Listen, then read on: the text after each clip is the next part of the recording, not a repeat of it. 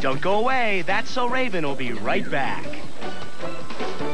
She's Casey, and she's finding out that sometimes too much new is not cool. Anything new? You mean like two new stepbrothers, a new stepsister, a new stepdad, a new house, and trying to make new friends? Her mom got remarried, and she moved into her stepdad's house. Your dad's lucky to have married my mom. Your mom's lucky to have married my dad. Now she and her little sister have a new family. There's her stepsister Marti and her two new stepbrothers, Edwin, and there's Derek.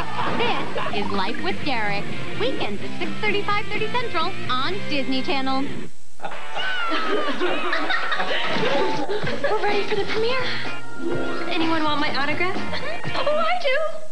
You've got to be kidding me. Make room for more Disney Channel, because we're premiering new episodes of all your favorite shows, like Phil of the Future, That's So Raven, The Sweet Life of Zack and Cody, and many more. Disney Channel presents Chicken Riddles. Riddle number 41. How fast does a chicken's heart beat?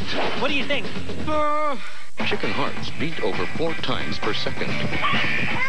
Quick! Get a camera crew! Ah! Oh! How good is a chicken's eyesight?